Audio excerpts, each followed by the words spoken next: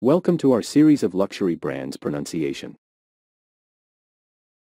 We are looking at how to pronounce the name of this brand. So how do you go about pronouncing it? La nuit trésor. La nuit trésor. La nuit trésor. We are looking at how to pronounce the name of this brand.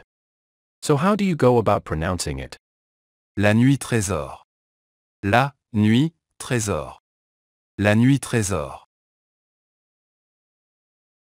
I hope this video was useful.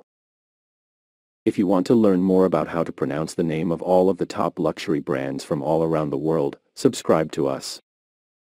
And to get enlightened with the pronunciations of difficult words, names of celebrities, and luxury brands.